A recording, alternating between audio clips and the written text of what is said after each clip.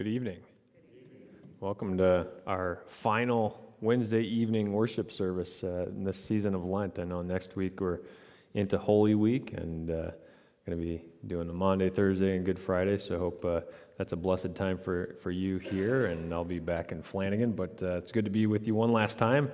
I might not see you until December, so uh, this will be farewell for now. But uh, yeah, we'll be around, but I don't know if I, because I'm busy on Sunday morning, so I don't even know if I'll see you on Sunday. So, but uh, it's been a blessing to be able to come up with you and, and do this uh, uh, this series with my my dad, and uh, so just uh, glad to be back here one more time. At this time, I invite you to rise as we begin our worship service with our opening prayer. The Lord be with you. Let us pray.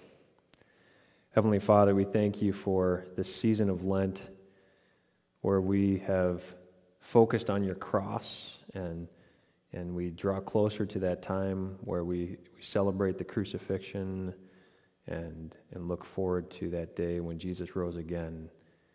We ask that you would help us to always cling to the cross and boast in the cross and, and make the cross the center of our life because there Jesus uh, won our salvation and, and uh, gave us peace.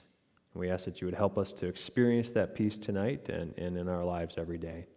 We pray this in Jesus' holy name. Amen. We gather together in the name of the Father, and of the Son, and of the Holy Spirit. Amen. Almighty God, to whom all hearts are open, all desires known, and from whom no secrets are hid. Cleanse the thoughts of our hearts by the inspiration of your Holy Spirit, that we may perfectly love you and worthily magnify your holy name through Jesus Christ our Lord. Amen. Let us make confession to God. Almighty God, merciful Father, I, a troubled and penitent sinner, confess to you all my sins and iniquities with which I have offended you and for which I justly deserve your punishment. But I am sorry for them and repent of them and pray for your boundless mercy for the sake of the suffering and death of your Son, Jesus Christ. Be gracious and merciful to me, a poor, sinful being. Forgive my sins. Give me your Holy Spirit for the amendment of my sinful life, and bring me to life everlasting. Amen. Almighty God, in His mercy, has given His Son to die for us, and for His sake forgives us all our sins. Through His Holy Spirit, He cleanses us and gives us power to proclaim the mighty deeds of God, who called us out of darkness into the splendor of His light. As a called and ordained minister of the Church of God, Church of Christ, and by His authority, I therefore declare to you the entire forgiveness of all of your sins in the name of the Father and of the Son and of the Holy Spirit. Amen. Maybe oh, we stay. You stay. Do you sit down for the? I don't. I, I, am not sure what you guys do, but uh, stay standing for we listen to our opening hymn. Sorry.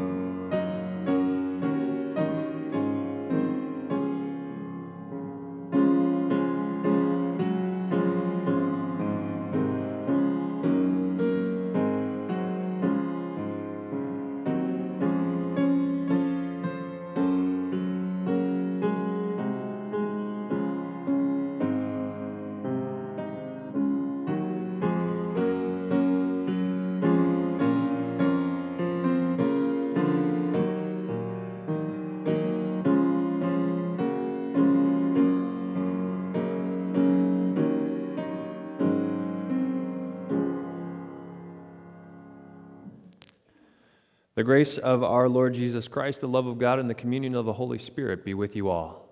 With you. Let us pray. Our Father in heaven, as we walk together through this season of Lent, help us to see the cross of Christ more clearly than we have ever seen it before. Show us your amazing grace and mercy and love. Fill us with your Holy Spirit so that we are strengthened in our faith and energized for the task of sharing the gospel message with the world. We ask this in the name of our Lord and Savior, Jesus Christ. Amen. Please be seated.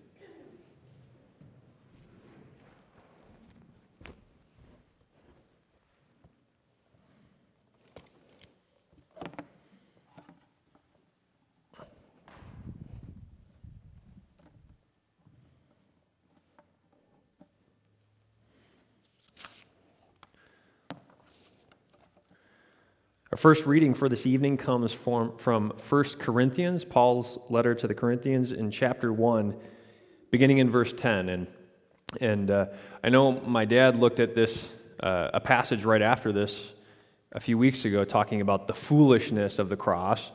Uh, this comes right before that passage that he looked at. And what he is writing this letter about is he is writing to a church that's very divided. And so here we begin to see some of that, and I'm going to look at some of those divisions in my sermon as well, but here we get a glimpse at those divisions. Paul writes, I appeal to you, brothers, by the name of our Lord Jesus Christ, that all of you agree, and that there be no divisions among you, but that you be united in the same mind and the same judgment. For it has been reported to me by Chloe's people that there is quarreling among you. My brothers, what I mean is that each one of you says, I follow Paul, or I follow Apollos, or I follow Cephas, it's the other name that Peter went by, or I follow Christ. Is Christ divided?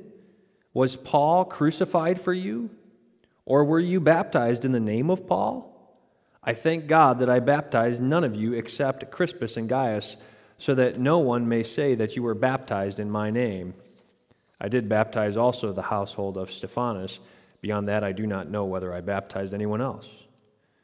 For Christ did not send me to baptize, but to preach the gospel, and not with words of eloquent, eloquent wisdom, lest the cross of Christ be emptied of its power.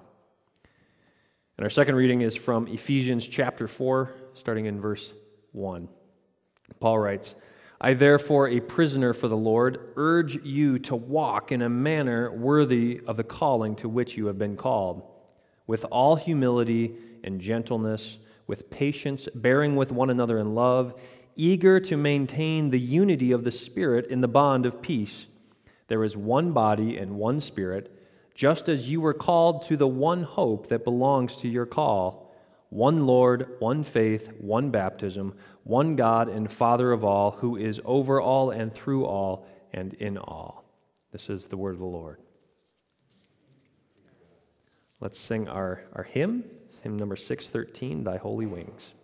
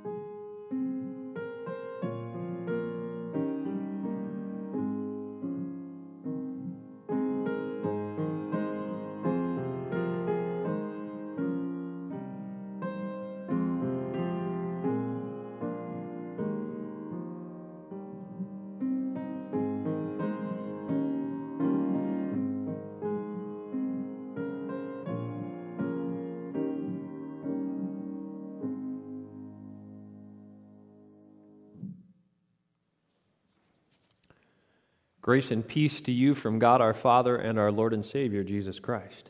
Amen. Well, one day, St. Peter was up at the pearly gates and he was uh, greeting some of the newcomers coming into heaven. And one that day just happened to be there was three of them, and one was a Methodist, and another one was a Baptist, and the third was a Presbyterian.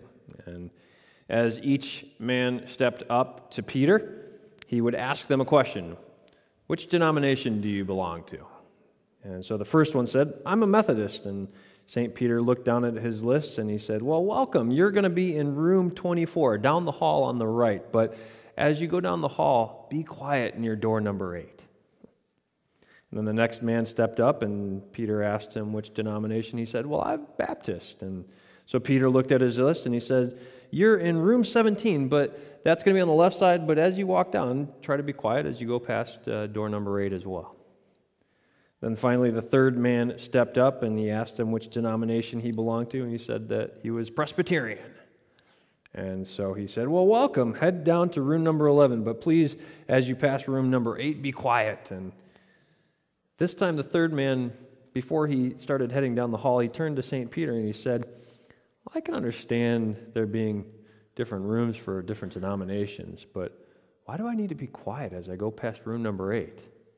And St. Peter said, Well, that's the Lutherans in room number eight, and they think they're the only ones here.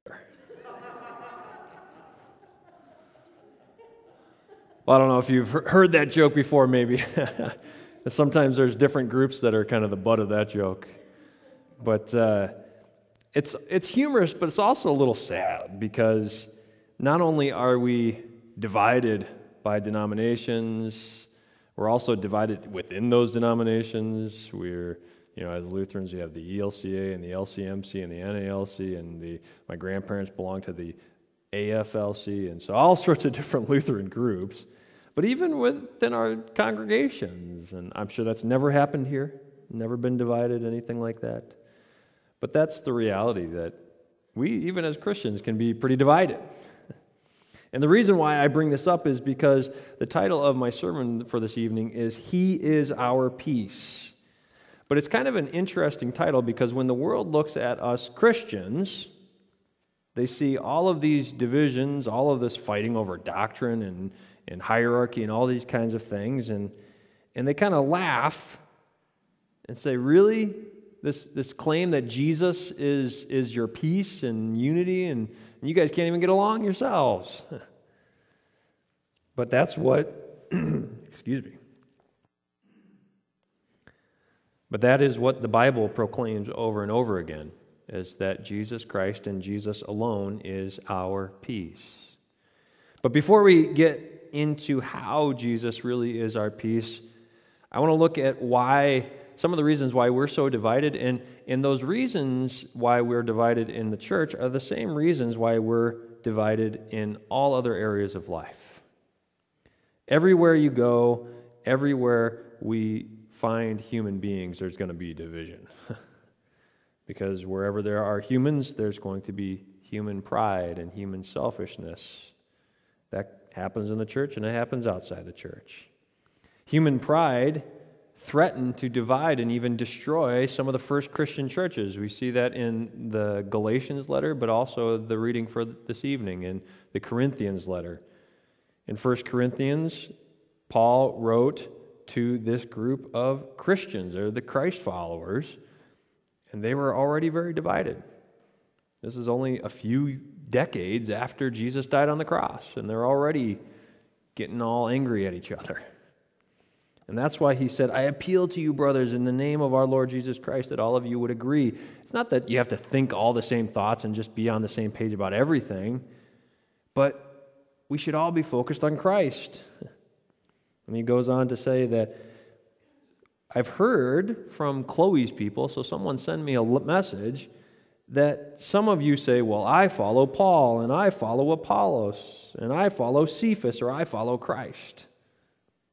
This passage in 1 Corinthians reveals one of the ways that our pride divides us, and it's the pride of the different groups that we belong to. We love to create different groups for different reasons, and then we boast in those groups insiders, outsiders, winners, and losers. Our groups give us an identity, they make us feel special and important. And we see this playing out in all sorts of places, whether it's race or gender, sexuality, nationality, political parties, birth, you know, what family we belong to. Is my family a good family or kind of a low family? All that kind of stuff. We come up with these different ways to group each other, and then we try to figure out which group is better. When I go out in public wearing my Cubs hat, I am proudly declaring that I'm part of the particular group of Cubs, you know, baseball fans that roots for the Cubs. When it comes to baseball, I belong there. That's my group. It was, it was kind of tough living up in the Milwaukee suburbs the last few years, a few years ago, because everywhere I went, I was surrounded by Brewers fans. But the good thing was that while I was living up there, the Cubs won the World Series. So it was a lot easier to stand tall and proud and wear those Cubs hats while I was there. Well, the Christians in Corinth, they were divided in these different groups and specifically over which teacher that they were going to follow. They all knew these different guys. Paul had come and another missionary named Apollos. He was a, a well known and important teacher at that time. But they even had Team Peter. You know, they were going around wearing hats with Team Peter on it. Peter had been there and visited them and preached there. And some of the people were saying, Well, I got you beat because you guys got uh, Peter and Paul and Apollos. Well, I'm on Team Jesus. they were trying to show who was better, whose group was better. Well, in the last few years in our own culture, in our time right now, we've seen this kind of boasting happening all over the place. And one of the phrases that's kind of come up and, and begun being used to describe the way that we group each other and then we try to show how uh, proud we are of those groups is there's this term, I don't know if you've heard of it, it's called virtue signaling. Virtue signaling is when someone makes some kind of public statement, usually on social media, maybe Facebook, Twitter, all those types of things. And they do that as a way to show which group they are part of, who that they support, that they are part of a righteous group, a virtuous group. Virtue signaling is also a way to shame others who aren't part of your group. This creates constant pressure to show where we stand. Are we inside? Are we outside? Are we part of the group or not? Are you righteous, virtuous? Where, where are you at? Happens all the time. We take pride in our groups and we signal to others how good we are, but that pride divides us and even causes animosity. We're also proud of the power that we have. We're proud of uh, the, the wealth or the status that we have. And, and it, maybe if we don't have those things, then we resent the people that do. The ancient city of Corinth was, was an important Greek city when Greece was a, a big major empire. They had a population of almost 90,000 people. It's pretty big. But in 146 BC, when the Romans kind of came up in power, they came in and completely destroyed the city of Corinth. It was a major seaport, major hub of economic activity, and they leveled it to the ground. But about 100 years later, Julius Caesar came in and said, I want that city rebuilt. And so they rebuilt it slowly over time. And a lot of the people that came and settled into that city were what were called freedmen. They were former slaves. And so they were set free and they could go and they could settle in this new city. So when Corinth was rebuilt, it became a place of, of opportunity. Uh, not a whole lot of places in that time had, had the, the ability, gave you the ability for social uh, mobility, going from the lower classes up to the higher classes, or to seek economic wealth. It kind of, they had their, their different groups, and you were there. That's where you were. So Corinth became kind of like America in, in a very small sense, that you could pull yourself up by your bootstraps and you can make a name for yourself. At least that's what they thought of themselves. And Paul begins dealing with this in his letter to the Corinthians because there seems to be great pride in the social and economic status of the different members of the church. In 1 Corinthians chapter 11, Paul writes to them saying, When you come together as a church, I hear that there are divisions among you. When you come together, it is not the Lord's Supper that you eat. For in eating, each one goes ahead with his own meal. One goes hungry, and another gets drunk. Paul was shocked that there is this hierarchy. Some people were hoarding all of the food and all of the wine that was used for communion. They were eating it all, and some people were getting nothing. Said, if you want to get drunk, do it at home. When you come to church, at least at church, you should all be on the same plane, same level playing field. Some of the Christians believed that they were more important, whether it's social status or wealth. We don't know exactly. But another part of Paul's letter, he goes on to describe how people were boasting in their power spiritually, their spiritual power. He, in, in, first, in 1 Corinthians chapter 13, which many of you probably hear at weddings, or maybe you even used it at your wedding, that was actually not written for weddings, surprisingly. It was written for a divided church. Paul wrote that love passage saying, If I speak in tongues of men or angels, if I have this special language that I can communicate with the angels, but if I don't have love, then I'm just making noise, just a noisy gong or a clanging cymbal. If I have all prophetic powers and understand all mysteries and all knowledge, and if I have all sorts of great faith so as to remove mountains, but I do not have love, then I am nothing. And if I give away all that I have, showing how generous I am, and wow, look at, look at me, look at all the good things I've done. If I deliver up my body to be burned as a martyr for God, for Jesus, but I do not love, then I gain nothing.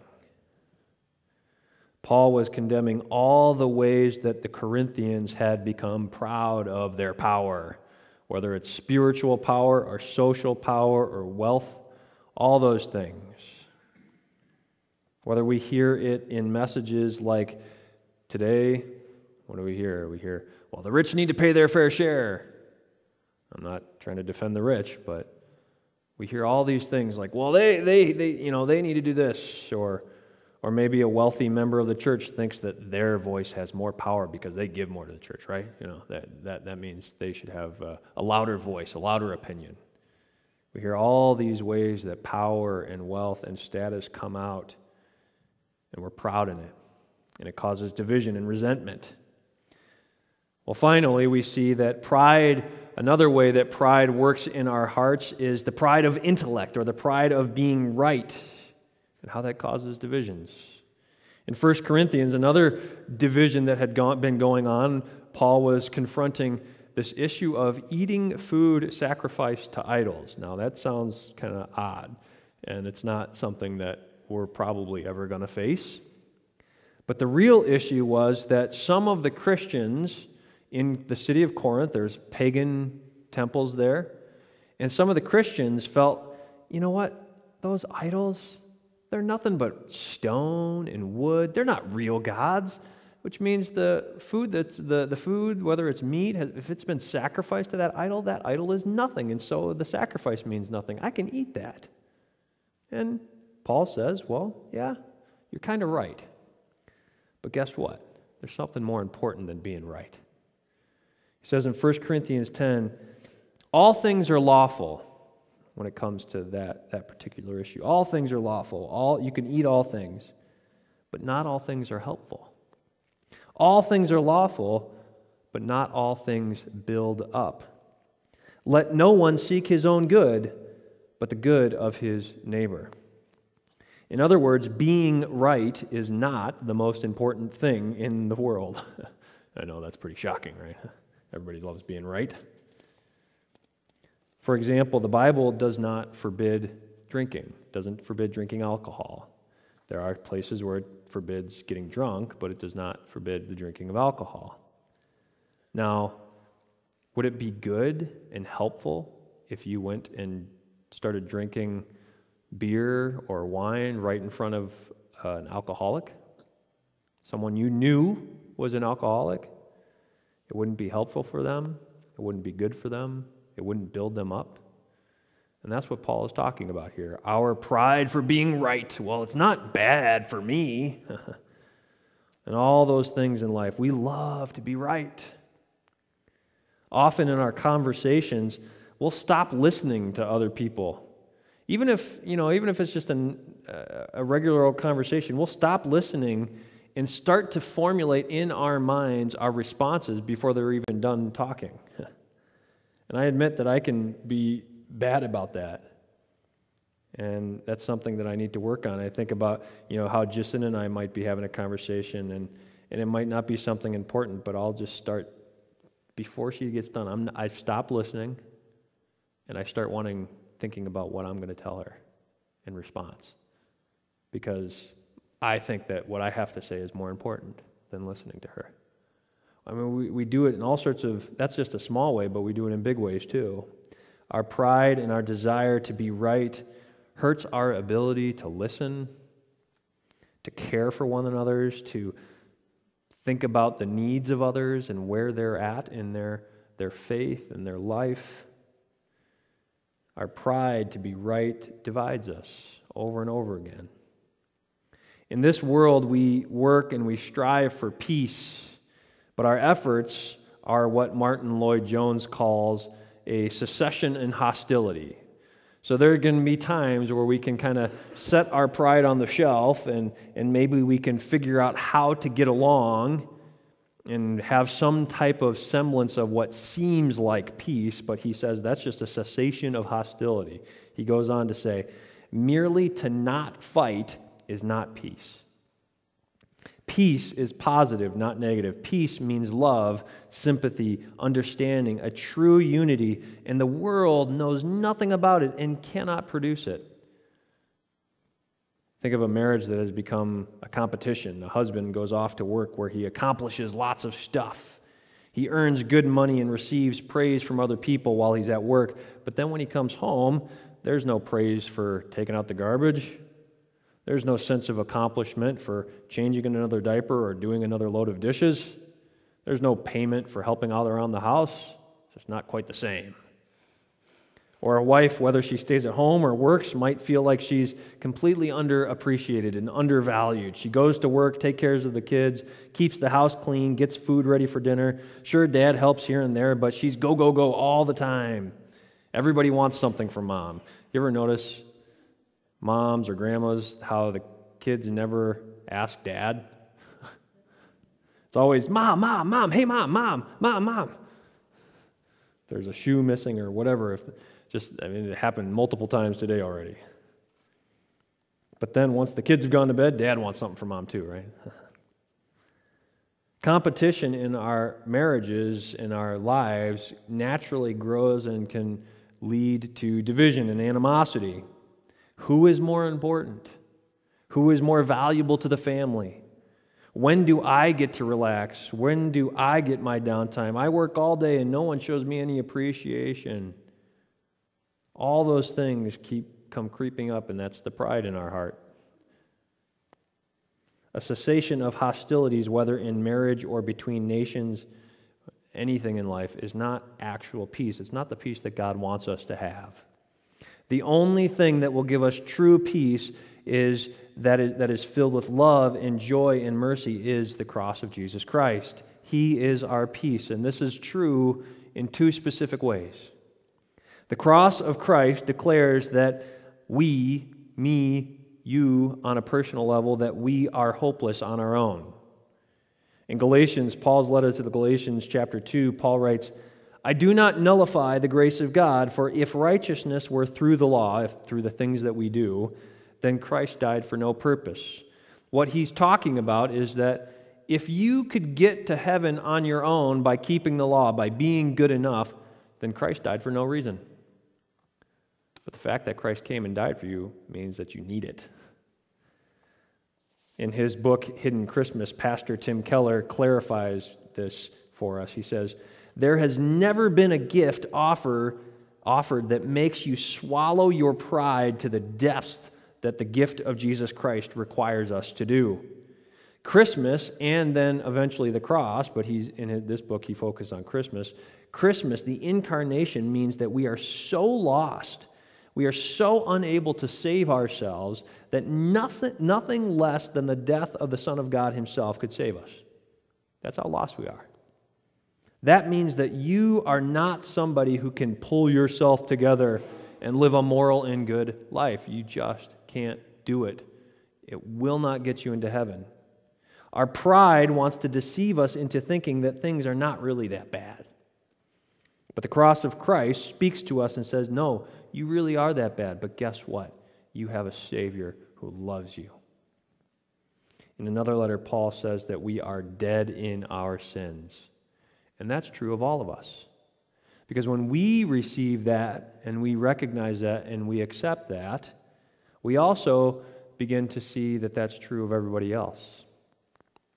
Everyone else is also captive to sin, and everyone else is, is in this place where they cannot free themselves. They cannot do it. Everyone else is also filled with the same pride that causes all those divisions. Every single one of us needs the forgiveness that comes through the cross of Christ. We're all the same. Everyone in our world wants to be equal. We want equality these days. Every group wants equality. Well, we have it. When we look at the cross, we are truly equal. We are equally sinful. We are equally proud. We are equally arrogant. We are equally dead in our sins. We are all equally incapable of saving ourselves or anyone else. We are all equally in need of a Savior. This is where we find our true unity. It's where we find our unity. We come to the cross and we realize how desperately we need a Savior. And on the cross, we find true peace. Jesus takes all of our sinful pride and our arrogance, He takes it away from us. So the Bible tells us that Jesus actually takes it from us and he takes it upon himself and he hangs on the cross and he says, Father, forgive them. He takes it all away from us and he leaves God's grace and mercy and love.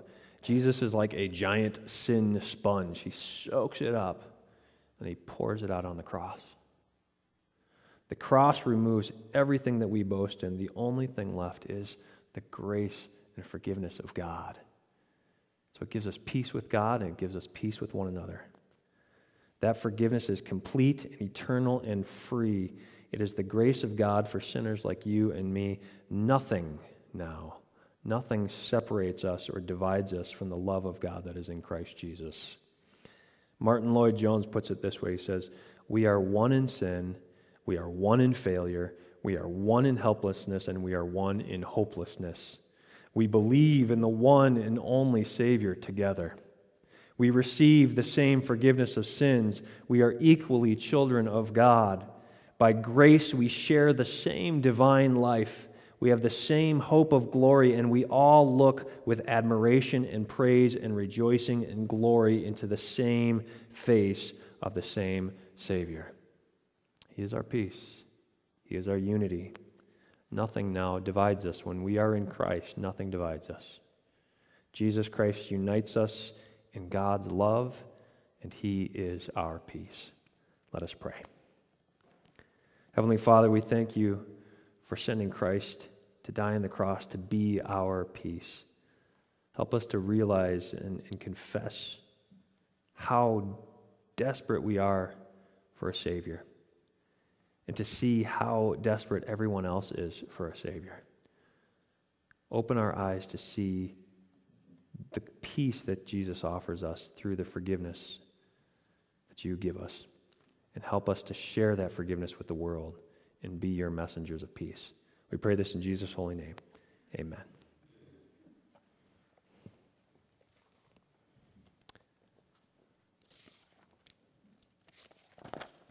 I invite you to rise as we confess together our faith, following along on the screen. What is your only comfort in life and in death? That I, with body and soul, both in life and in death, am not my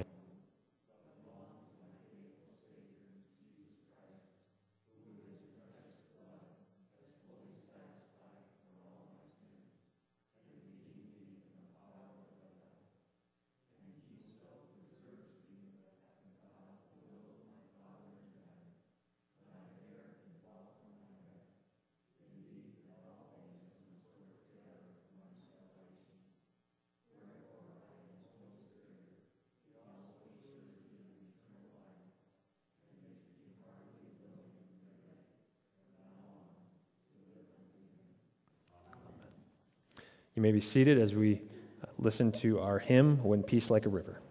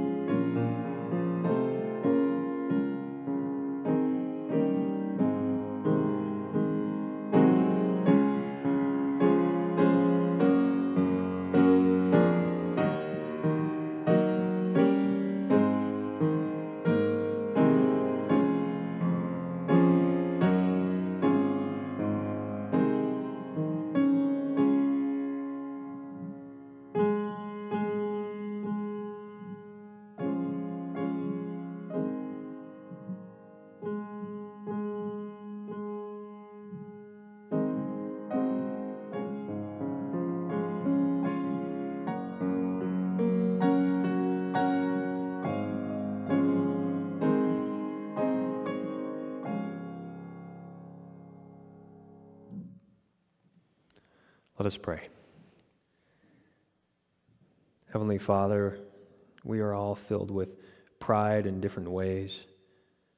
We are proud of the different groups that we are a part of, and, and we use that pride to, to condemn others and to shame and guilt others. We're also so proud of the things that we accomplish or the things that we have instead of thinking of them and, and believing that they are really gifts that you have given us to use as blessings in our lives and the lives of others. We're so proud of, of uh, being right and, and winning arguments that we fail to see the ways that people are hurting around us or in need around us. We ask that you would take that pride away. Through, your po- through the power of your Holy Spirit, we ask that you would cleanse our hearts and give us new hearts, right hearts, clean hearts that cling to the cross of Christ. Help us to always, always realize and, and accept and, and to believe that we need Jesus every day, that we need his love and his forgiveness and his grace every single day. Help us to cling to his cross where we see our salvation and our forgiveness.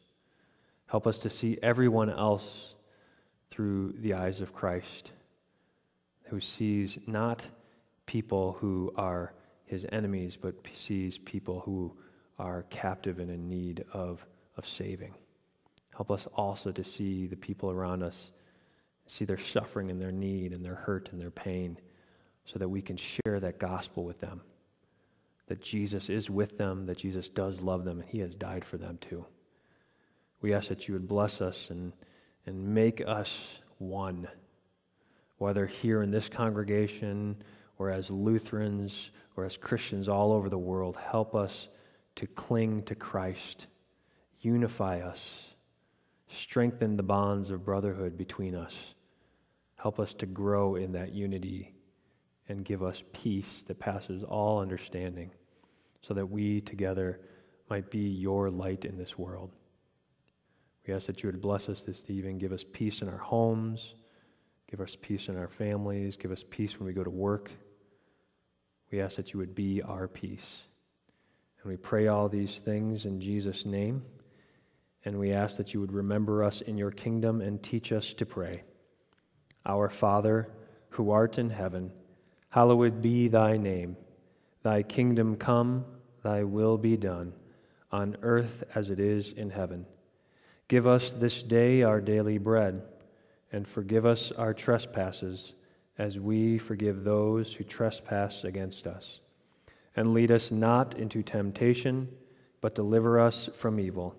For thine is the kingdom, and the power, and the glory, forever and ever. Amen. Please stand and receive the sending blessing.